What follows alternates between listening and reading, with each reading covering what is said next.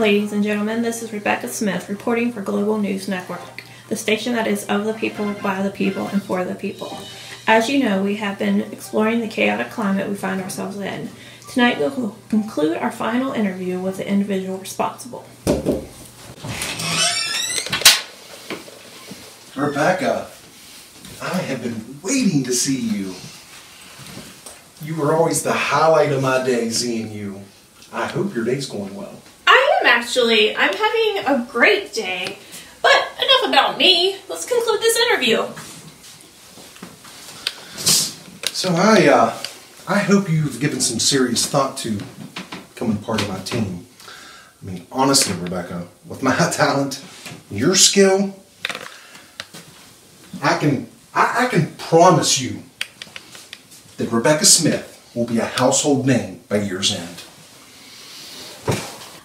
Considered it and actually made my decision. I'll give you my answer at the end of the interview if that's okay with you. Hey, great. Let's proceed. Okay, let's do a recap.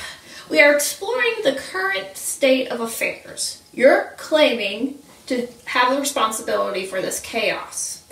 Dismantling the family, promoting one's truth, feeding self centeredness, and now tonight, what are you in the process of destroying? Oh, Rebecca. This is so near and dear to my heart. I mean, unspeakable joy when it comes to this subject. So, again, what exactly are you trying to destroy? The church. I am setting out to destroy the corrupt, hypocritically bigoted church. Let me ask do you like to cook? Sometimes.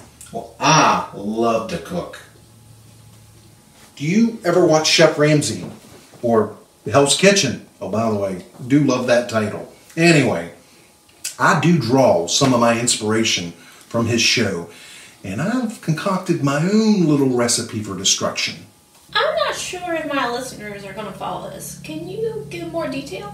Okay, like I said, I follow a recipe model. First, I'll take a consistent tither, a generous giver to all church needs. I would think every church would want that individual in their congregation. Yes, yes, they would. And that is the beautiful flavor of this recipe.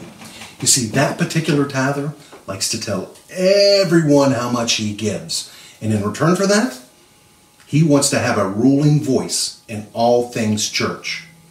If he doesn't, he'll take his money elsewhere. I see. Next, I take a professing Christian, one that just loves to spout scripture, likes to just tell everyone how much she knows about the gospel. And when she's given a microphone and asked to pray, everybody knows they just have to settle in for a 15 minute dissertation. Okay, so she's excited about her faith. How's that a problem? Her heart, Rebecca. The moment she steps out of the spotlight, she's jockeying for position, criticizing anyone that threatens to steal her thunder. I'll give you it. It is subtle, but it is deadly. And is there more? Well, let's look at the generous portion of the church maintenance committee. They highly invest themselves in making sure that the church stays in pristine order.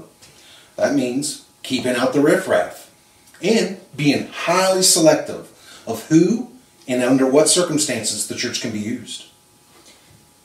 Afraid to ask, but is there more to this recipe? Well, there could be. I mean, sometimes it's the person that looks different. Maybe they have blue hair, tattoos, nose ring, maybe clothes that are just a little inappropriate for church, or acts different. Acts a little charismatic, jumps up and down, prays with their hands in the air, any of those things. You're saying those people have a role in destroying the church? Oh, oh, oh, no, no. They are the fuel that fans the fire of the status quo. You see, today's church is all about the status quo consistent and predictable. People just want to feel like they belong to a group. Sort of the same feeling you would find at a, your local tavern, except your local tavern sells alcohol. So, Rebecca, what do you think? I think you may have hit some key points for the problems of the church today. See? I told you we would make a good team. However, not all churches are plagued by your recipe. People still tithe quietly and give generously. They praise God without thinking of themselves, and as a whole are seen as God's children, blue hair or brown. Well, I would rather not debate you. I would rather have you on my team.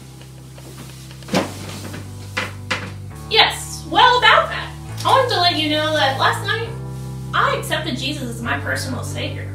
So I'm on His team. Oh, I know you're powerful and you can have a big influence on our lives if we allow it. But my God, He's more powerful.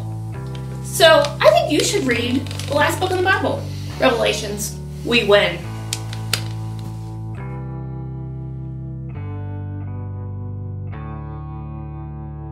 This is Rebecca Smith for Global News Network, the station that is of the people, by the people, and for the people.